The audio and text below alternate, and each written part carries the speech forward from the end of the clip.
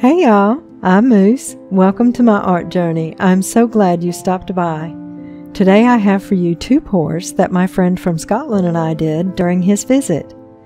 We each used a 10 by 10 inch or 25 by 25 centimeter canvas, and we played with spontaneous creations by Bryan's Kiss Split Cup.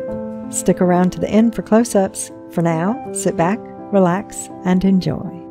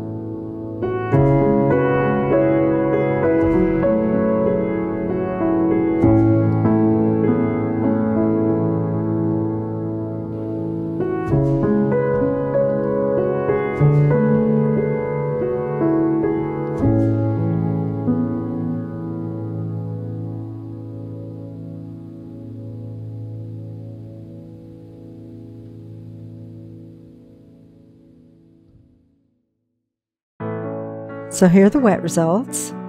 Oh, we had so much fun with this cup.